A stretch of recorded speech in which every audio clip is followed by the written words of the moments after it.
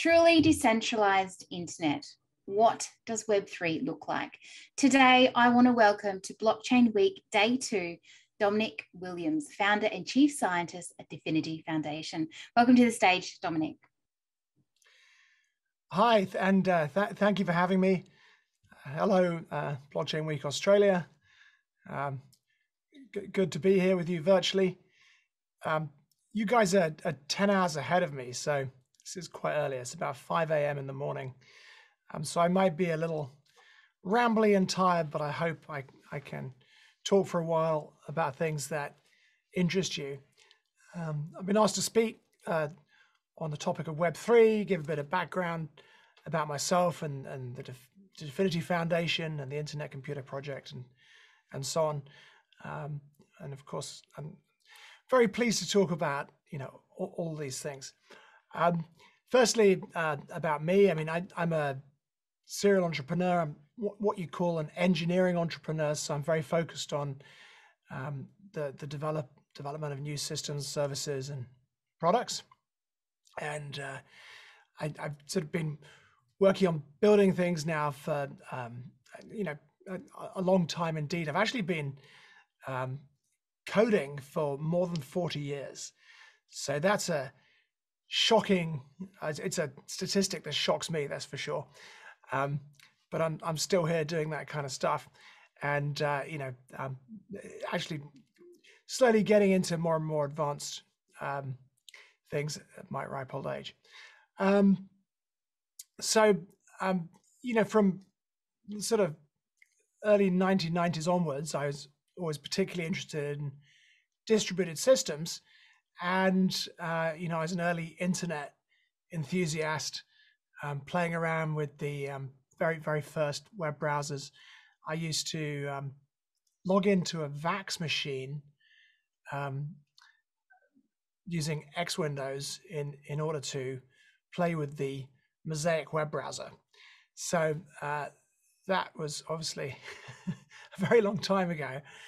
And all of the lessons I learned building early systems for the internet um, it ended up, I think, um, leading me to um, blockchain. Um, but I have quite a sort of different perspective, and I, I want to explain where that came from. So the the last um, sort of significant venture I did out, outside of blockchain was an MMO game called Fight My Monster. Fight My Monster, very silly name, as, you might guess. This MMO, massively multiplayer online game, was um, designed for, for kids mainly to, to, play. Particularly, I, mean, I think the the demographic was about eighty percent boys in the age range, sort of uh, eight eight to twelve.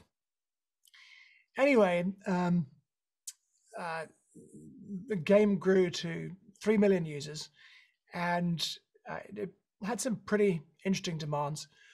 And I I launched in end of 2010. And uh, it, it was built using um, a decentralized database called Cassandra. And Cassandra was designed to make it very, very easy to scale um, data storage. And essentially, you could just add nodes to your Cassandra cluster and um, make some changes to this uh, thing called a consistent hashing ring, and it would just sort of redistribute your data and replicate it. So you didn't have to worry um, about much at all. You, you know, if you wanted to scale up the capacity of this decentralized database, you just added nodes. And uh, Fight My Monster um, was the first complex uh, production um, use of the Cassandra database. And in fact, a little known story is in, in, in 2011, um, actually it went wrong. It was still in beta. It went wrong and lost the data of, of about 800,000 users. And the then Cassandra team um, got, got involved and worked with through the night with me and r- recovered the data and everything continued. Um, luckily, data was um, held in a redundant way. And Fight My Monster also actually made use of a, a sort of horizontally scalable game server, which I developed myself called Starburst. And uh, it was very important because it um, got me back into theoretical computer science um, with a sort of specific focus on uh, dis- distributed computing. And you know, I'm, I'm, did fairly well academically in computer science, won you know, a bunch of prizes at acad- uh, undergraduate level and so on. And so this sort of you know s- set me up um, really for, for, blockchain. And you know, Bitcoin had been on the um, edge of my consciousness, but I've just been so busy um, focusing uh, on on my various ventures that I hadn't really really been able to give it the attention it deserved. Um, but I s- sort of took notice in uh, April 2013 when you know Bitcoin went through one of its crazy rallies, and um, I sort of revisited it. And actually, in 1999, I had used a library from a guy um, called Wei Dai. It's still up there. It's called Crypto Plus Plus. The, the web page for Crypto Plus Plus is unchanged in, in over 20 years now. And on this web page for Crypto Plus Plus, there was a there was a uh, a link to a sort of um, sketch for a system called um, B Money, and you know back in 1999, I'd read this and just not been able to make head or tail of it, but realized it was something very interesting. Um, anyway, 2013, uh, Bitcoin sort of burst back onto the scene. Uh, it managed managed to pull my attention away from from the things I was doing, working on at the time. Um, like many other people, I downloaded Satoshi's Bitcoin white paper and was absolutely blown away. Um, and you know, like many others um, at the time, you know, first getting into uh, a blockchain, I very quickly came to the conclusion Bitcoin was going to be absolutely huge and, and world changing. But my, my perspective um, on blockchain was was a little bit different. Um, you know, at that time I was based in Palo Alto. I'm in Zurich now, but I was based in Palo Alto back then, uh, which is you know the center of Silicon Valley, uh, part of the Bay Area in California, of 40 miles south of, of um, San Francisco. And so I brought uh, my sort of more traditional entrepreneurial perspective uh, with me to, to, to, blockchain. And, um, you know, by the end of 2013, um, I had this domain name, Gamecoin, and I was uh, imagining a cryptocurrency that would enable people to carry value between computer games. And I had this vision that, um, you know, computer games such as the one, you know, I'd created, um, provided virtual marketplaces for um, goods, you know, things like suits of armor and weapons and anything else you can imagine, perhaps with a racing game, a car. And they would allow um, users to buy and sell these virtual goods, um, I suppose, much in the manner of NFTs, and um, you know, transport value that they'd accrued between games um, using this Gamecoin cryptocurrency. And you know, of course, I I realized that uh, Gamecoin would would require much faster finality than Bitcoin and, and be able to process much higher numbers of transactions because uh, gaming really is a you know un- unique environment and um, already um, within this game fight my monster um, you know there were which also had virtual goods and and um, gold nuggets that you could use to um, buy things and and which you'd receive from other users for these monsters you'd put available for sale. Um, was sometimes you know handling many many transactions um, a second. And uh, you know if you multiplied that across lots and lots of different games it was clear that either you needed much faster blockchain or or, or something like you know light, lightning network. Um, but of course lightning is pretty pretty complex to use. You have to pre pre-charge your channels and things like that. So and, and no one of course lightning wasn't invented um, at the end of 2013 either. So you know, I started setting my sights on um, working out how how blockchains um, could be, you know, created that would run run faster.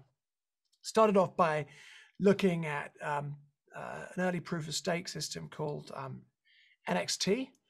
Um, delved into that and um, sort of found some uh, uh, sort of inconsistencies in the way it was designed and um, uh, kind of what I felt were obvious security security flaws and began trying to interact with the team and and um, in the end uh, anyway um, began uh, working full time on what's known as um, uh,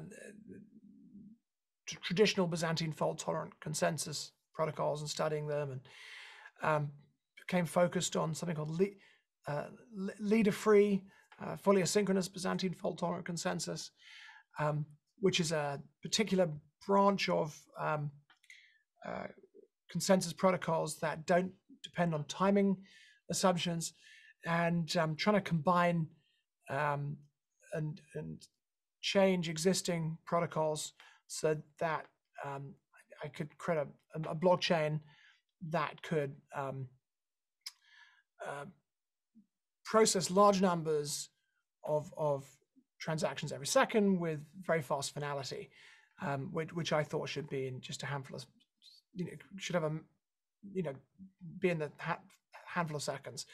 So I forget exactly. I, I, I 2014, I was working on a um, project called Pebble. I pivoted later for reasons I'll explain. Um, I think it was like the finality would, would have been like three, three to five seconds anyway, my my you know my initial ideas for um, cryptocurrency are a bit different too.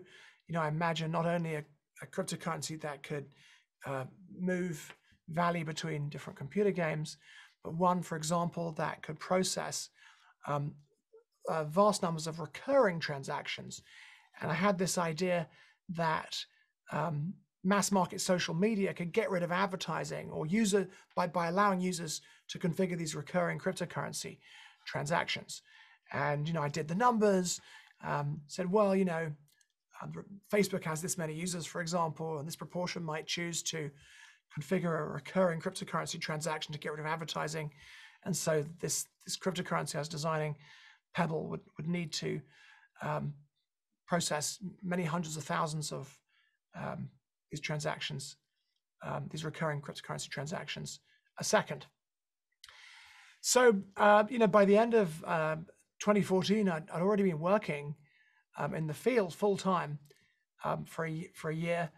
Um, back back in the day, it was very difficult to convey these ideas to the kind of ideas I was working on to other people in, in the blockchain industry.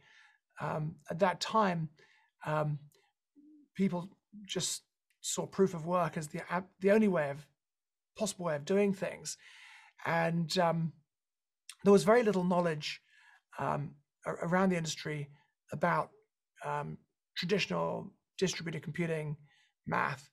And I remember, for example, in 2015, um, uh, going to the crypto finance conference in in in Barbados, financial cryptography conference, excuse me, in Barbados, and going for a dinner with the uh, I think it was the Bitcoin core team um, from from Blockstream, and talk, talking about some of the things I was working on, and actually none of them were even aware that um, you know distributed computing had this branch um, that that produced and studied consensus protocols.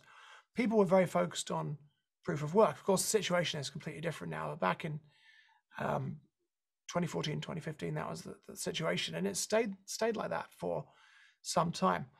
Anyway, um, you you may wonder why on, earth didn't I um, proceed with this project Pebble in 2014 after investing so much effort into it? And and the answer is um, I'd become enthralled with the Ethereum um, blockchain uh, project, and um, was you know spending a lot of time traveling the world um, to, to this sort of traveling circus associated with Ethereum.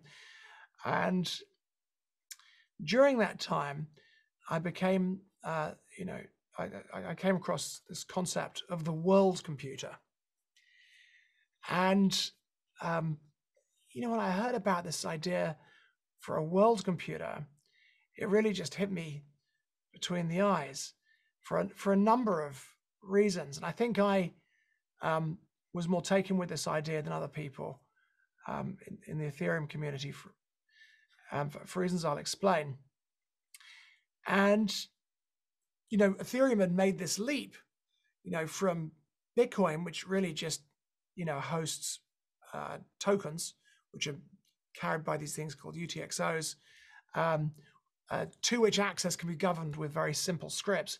It had made the leap from that um, to making um, the um, code the primary object. So, you know, on, on Bitcoin, um, you, you've got these Bitcoin tokens to which access control scripts can be attached. And you know, when when the Bitcoin coins move, those access control scripts disappear.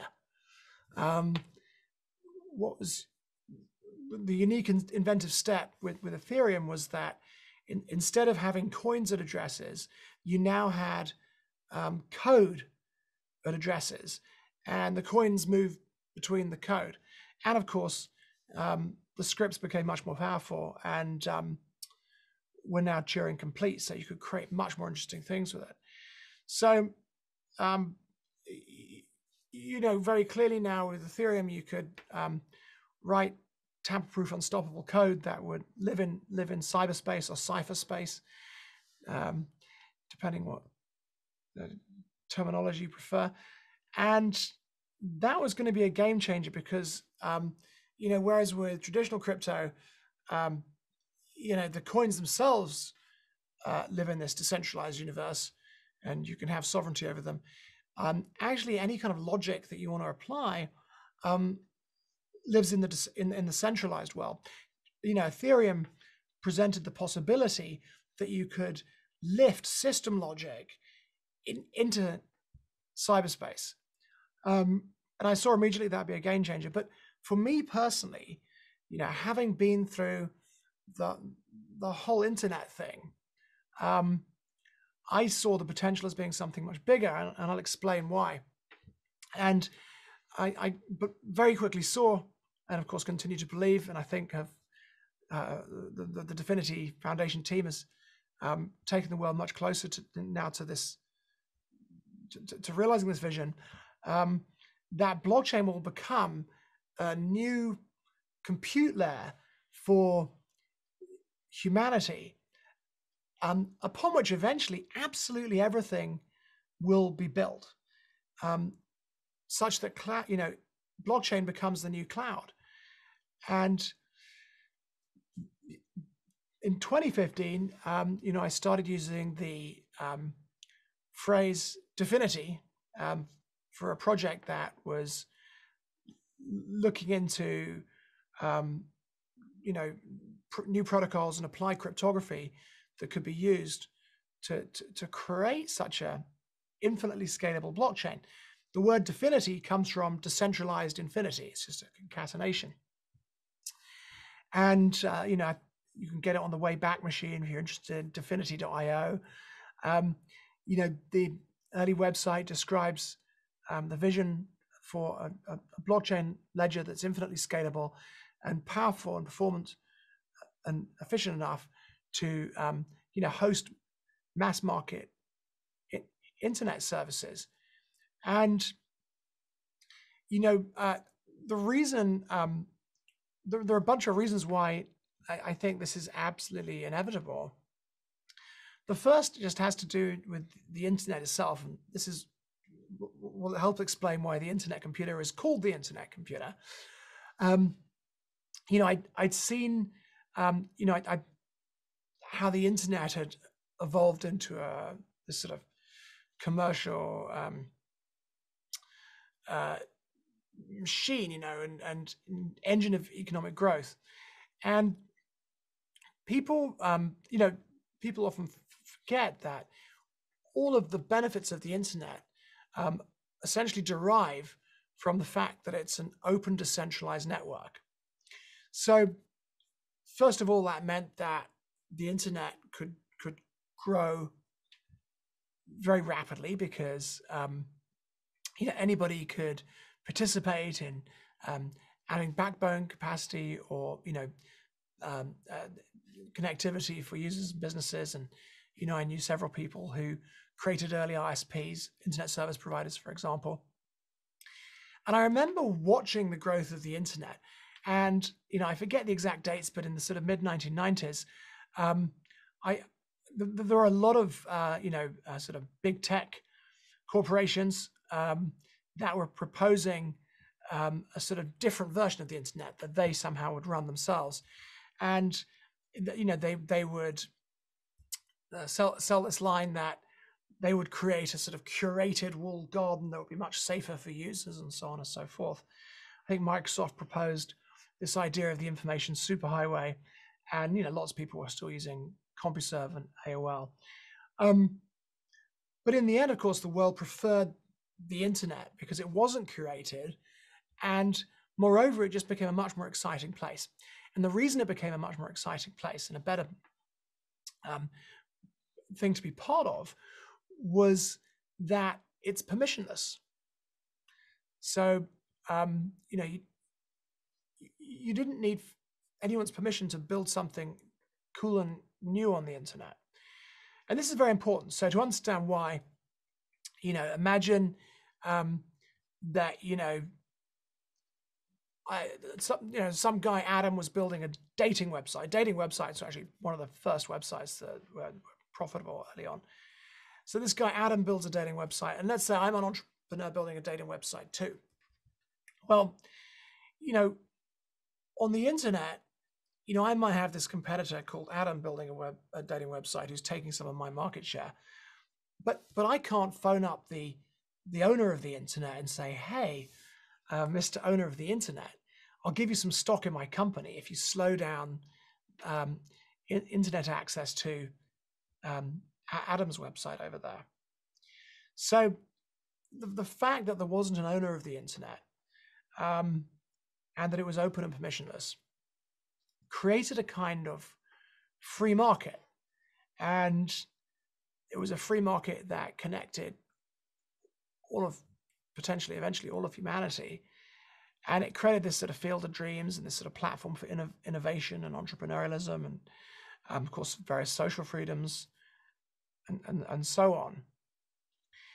And just this massive engine f- for growth. And um, t- today you know we we take the internet for granted. It's as, as important to us as you know ba- basic utilities like like water.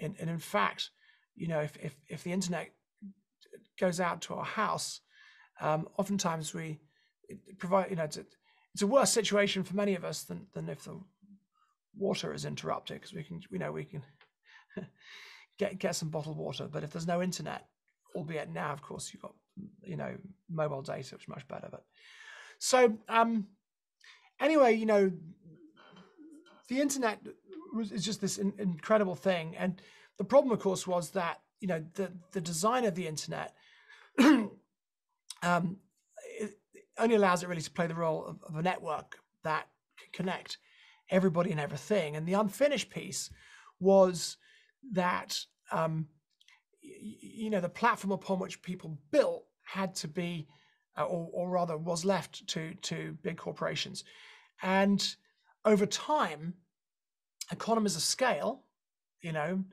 um, meant that there was huge consolidation. So, for example, you end up with these like massive mega clouds like um, Amazon Web Services and Google, and that other other platforms really um, were important because they sort of consolidated um, user relationships and user data.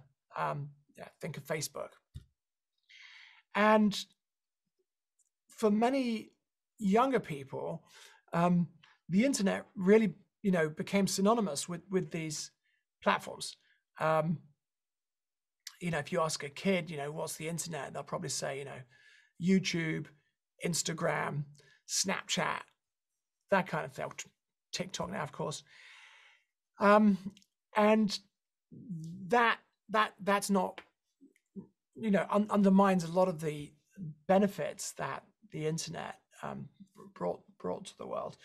So when I saw that blockchain could host code, um, I immediately realized that this was a path, if you like, to finishing the internet project, to giving it um, the ability not only to connect everybody and everything, but to host all of the world's um, data and computation.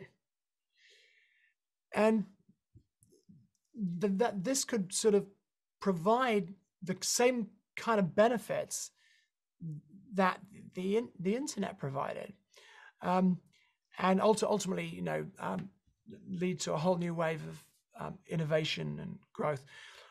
But I also saw, in addition to that, that smart contracts, which, which run on, you know, smart contract code that runs on blockchains, had a number of um, very, very unique but overwhelming advantages um, when compared to code, you know, traditional IT code.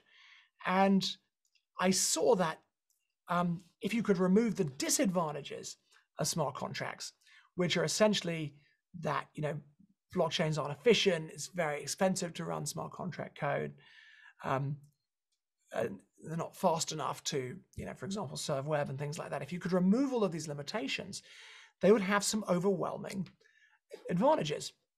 And I'll, I'll just um, take you take you through them. I'm half asleep. I think there's six. so try to remember them. The first is is that, of course, smart contract software runs on a public network, and I would make the claim that if if you know, am you know if a blockchain provided you know essentially exactly the same functionality as Amazon Web Services, it doesn't, and for good reasons, but just say it did. Um, you know, you know when I say the, same functionality, I also mean of course the same same efficiency and things like that. Um, people would choose to build on the blockchain because they'd be building on um, a public network. So the fact that smart contracts run on a public network is very important um, and will enable uh, you know a public compute layer to win out over um, a closed sort of proprietary monopolistic system for the same reasons that the internet you know um, easily beat out the likes of America Online and CompuServe and this idea of an information superhighway. So that was the first huge advantage. The second huge advantage is that smart contracts um, are tamper-proof.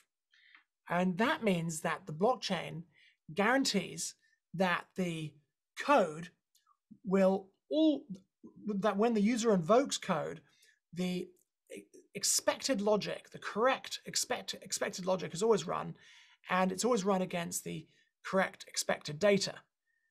Now, of course, your smart contract code can have errors in it. And um, that's, you know, how we, we had a, the first taste of that back in 2016 with the DAO. But um, nonetheless, the blockchain guarantees that it's the logic that you've, the smart contract author has written that's invoked and that it runs against the, the data that's been previously stored and created by that logic. And you don't need a firewall you don't need a firewall to um, protect uh, a smart contracts based system. There are no firewalls surrounding the internet computer or Ethereum, say. And when you consider that uh, in, in 2022, the world's going to spend $172 billion on cybersecurity, it's clear why um, that's an advantage. Um, thirdly, of course, smart contracts are unstoppable. Um, so, you know, if you build a system with smart contracts, it keeps on ticking just like the internet um, itself. Smart contracts are composable, and this is very interesting. It's software. Uh, smart contracts are both software and systems at the same time. You can compose them to make bigger systems. Um, smart contracts allow you to process tokens, um, i.e., you know, value in the mode of data, and lastly, smart contracts provide for autonomous software, which means that you can create software that runs without a human owner or controller and perhaps can't be modified or can only be modified by a DAO. So to wrap up anyway, you know, uh, the Internet Computer Project um, aimed um, aims to create a infinitely scalable blockchain um, that ultimately provides um, people building on the blockchain with similar levels to similar levels of efficiency and performance to traditional IT. And uh, you know, the Internet Computer Project actually is little known facts. It's, supported by uh, the blockchain industry's biggest uh, R&D effort. It's been running for some years. We have sort of 260 people, um, and, including some very famous cryptographers and computer science researchers and engineers um, working on the internet computer. And uh, you know, it, does a lot of unique things. Smart contracts on the internet computer can run in parallel. The internet computer network uh, really is infinitely scalable. Um, the cost of smart contract computation has come right down. Um, for example, um, you can store a phone photo on the internet computer for about 1.6 cents a year. Um, by contrast, to give you an idea of the magnitude of improvement, if you want to store a phone photo on the Solana blockchain, which is often touted as being extremely scalable and efficient, it'll cost you um, $2,666. So, uh, you know, it's, it's, more than more than 150,000 times more expensive. So um, the internet computers, uh, you know, not as efficient as uh, traditional cloud, but it, it's now running smart contracts um, with efficiency in the same ballpark. And smart contracts on the internet computer can do things that they can't do on other blockchains, um, including directly serving HTTP. So you don't need to build on the cloud anymore. You can literally just build um, mass market uh, internet services directly on the blockchain, and they will directly interact with users um, using advanced cryptography that's completely transparent. And you can build systems on the internet computer uh, that users can interact with directly, um, you know, via interactive web experiences created um, by the smart contracts themselves. A lot of innovations uh, with things like reverse gas, which means users don't even need tokens to interact and can authenticate using this protocol called WebAuthn. So, you, you know, the, for example, they can use the fingerprint sensor on their laptop, um, Face ID on, on their phone, and so on. And, uh, you know, we're, we're seeing incredible adoption now. There's a very rapidly growing, uh, organically growing community of developers. Um, if you want to do Web3, there really is no substitute for the internet computer today. If you want to create a mass market internet service that actually runs from the blockchain, not from Amazon Web Services, from the blockchain that runs under the control of a DAO, decentralized autonomous organization, for example, there's only one blockchain in the world today that can even begin to, to support the um, needs needs of a system like that. So, um, if you're interested in the evolution of the internet, in the evolution of blockchain, um, and the future of compute and what um, you know, mass market internet services, the mass market internet services tomorrow might look like, um, I invite you to have a look at the uh, internet computer and, and maybe download the SDK and try try building something. All right, I think I've run out of time. People are signaling me, so I'm gonna, I'm gonna wrap it up there. Um, uh, it's been good talking to you. I hope you lasted through this monologue.